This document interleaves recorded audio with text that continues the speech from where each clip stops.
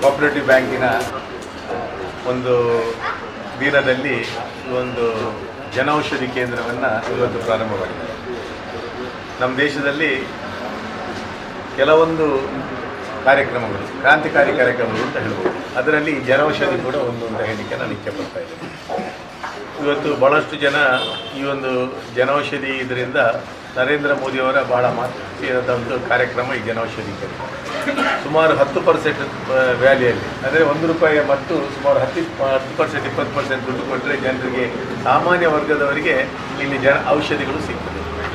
ದಿನನಿತ್ಯ ತಗೊಳ್ಳುವ ಬಿ ಪಿಗಾಗಲಿ ಶುಗರಿಗಾಗಲಿ ಮತ್ತು ಯಾವುದೇ ಸಾಮಾನ್ಯ ಕಾಮನ್ ಡಿಶಸ್ ಅಂತ ಹೇಳ್ತಾರೆ.